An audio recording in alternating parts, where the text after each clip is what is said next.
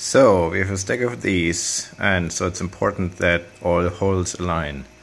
However, um, I hand drilled them back in the day so they were not properly aligned so now let's realign them with the CNC machine.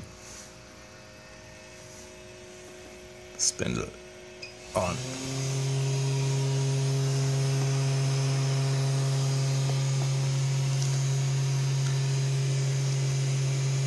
BeagleG.